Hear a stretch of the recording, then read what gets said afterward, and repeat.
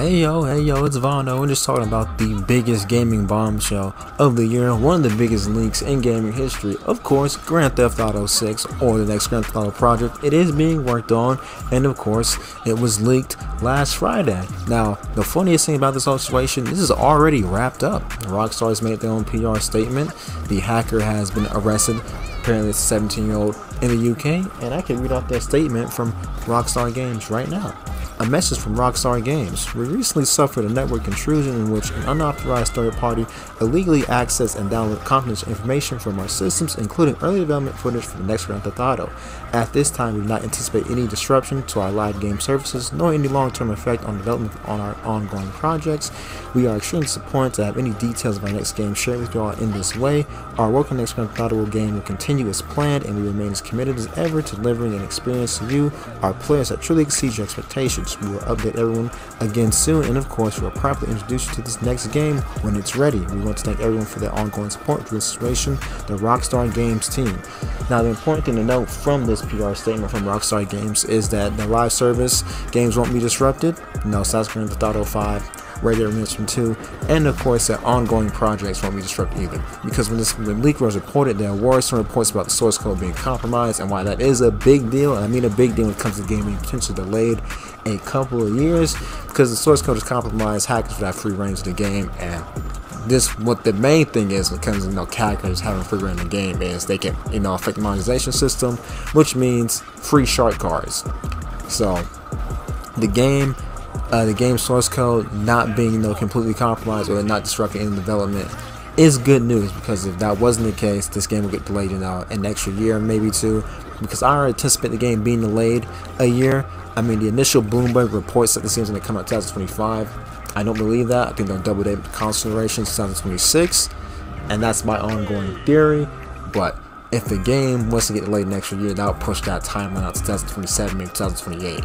So I'm glad that is not the case. I'm glad I don't have to worry about hackers, you know, ruining the integrity of the game. Because while that is one concern when it came to source code being, you know, potentially compromised with being in the hands of hackers, the main thing when it comes to Rockstar would be it disrupting the monetization system. So being that it isn't doing that, they can continue working the game as originally planned, and everything should be all fine and dandy, and this will blow over within you know the next oncoming weeks. And of course, I saw the leak footage; it looked pretty good. Unfortunately, uh, some of y'all don't know what the hell you're talking about when it comes to uh, game development. I'm not saying you have to be a game dev to understand that. I'm not saying that at all. But I'm seeing, uh, you know, people that allegedly play games saying the game looks unfinished. Of course it does it's still in development. like I, I don't know where that was coming from. I know I saw some jokes about people you know actually playing. It's like, hey, it looks like a Ubisoft game, you know, because the game was leaked. How you know it looked unfinished. But I saw some folks saying, oh, the game looks ass. The game looks unfinished. So I am. I mean, I'm not surprised that some of y'all don't know the hell you're talking about, even though y'all allegedly play games. But this is the reason why developers, you know, they take a fan feedback or fan input with a grain of salt. Honestly, some y'all don't know what the hell you're talking about at all. And when it comes to the hacker, I mean, I hope it was worth their freedom. I mean, this is a big leak, and it was leg- legitimate leak because Rockstar confirmed it. And of course, you know the footage that was on Twitter it has been removed via copyright request. So, I mean, I hope it was worth their freedom. But all I know is that whoever hacked this, and it's allegedly you know 17-year-old teen in the United Kingdom. All I know is that Rockstar they sent the black SUVs, they got somebody and their computers out of there, and yeah, I hope it was worth their freedom. I don't think so. I mean, this is a, a big leak, one of the biggest leaks in gaming history, but yeah, I mean, there goes their freedom. Rockstar pulled up to somebody's location with the black SUVs, and they got somebody and their hardware out of there. That's all I'm gonna say. I hope it was worth it, but the game looked good. I remember the last GTA video I made was about uh, people complaining about it being a female protagonist, and now look at it. No one's caring about that anymore because everyone's looking again like, oh wow, GTA is actually being worked on. Whoop de whoop whoop. But I'm not surprised. That's just how it is.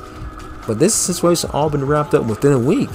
So whenever Rockstar makes any other official announcements about Grand Theft Auto 6, you know, revolving around this, I'll make a video about it. But honestly, I don't see that, you know, from another year, uh, not even another year, another year and a half to two years from now when it comes to an actual teaser trailer and some actual gameplay. But until then, we'll talk about it without the way. Ladies and gentlemen, y'all stay safe. I'm out.